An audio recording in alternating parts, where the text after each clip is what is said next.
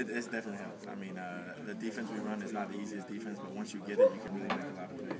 Especially at being a safety, our defense is made for DBs make a lot of plays, and especially at safety. So understanding the defense is crucial, and um, once you get it, like you just play fast and make plays. And in this this defense too, the safeties run everything. Is that right? They do. I mean, they do. I mean, the whole defense is communicating, but safety, you definitely feel like you have to be a quarterback of the defense.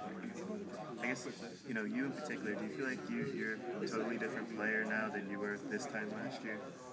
I would say so. I mean, I I've gotten a lot of better in the things that I had to improve on, and I'm always improving. I still have a lot of things that I haven't done yet that I need to improve on. So uh, I'm I'm looking forward to the season and just be having a new player out there.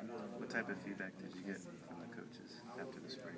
Uh, you know, they expressed, especially my position coach by uh, Coach Williams and uh, Coach uh, D'Onofrio, you know, they expressed that they were excited for me and where I came from, and they're happy that you know I I took what they told me I need to work on and I worked on them. So they're excited for me just to keep this on uh, train rolling through the season.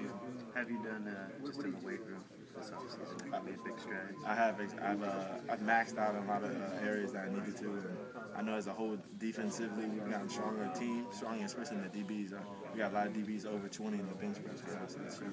Are you over? Are you one of those? Yeah, I'm, I'm, at 20. I think I'm at 20 right now. That's a goal for me. So I just just keep improving. That would be great. Have you put on some good weight too since last year? I have. Yeah, I probably put on probably five or six pounds right now. But then I, I think I, I probably be probably about five five more pounds heavier once the season gets okay. I guess uh, you know there's some freshmen I guess that just came in, secondary guys. Just you know, how much have you interacted with them, and just what have you seen from them? So, Yeah, I mean they just got here, so you know we're still in the interactive process. You know, just getting to know somebody. But um, these guys, they, they seem pretty smart, intelligent guys. You know, they come from good programs, so just seeing them out there when we um, do drills with each other, you know, they're picking on things really fast. So as long as they can come in and help, that's great. do you think you guys will need some of those guys to come in and, and play right away? I mean, I probably. I mean, we're, we're not. We don't have everything everything spot filled probably right now. So whoever can play the best is going to play. We it doesn't matter if you're a senior or freshman. If you can help us, that's all we need. Who's a guy in the defense that you think could, could maybe be a breakout?